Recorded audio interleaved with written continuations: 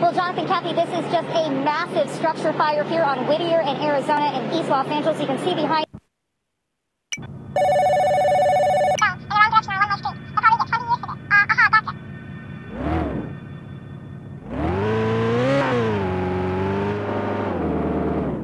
Taxi!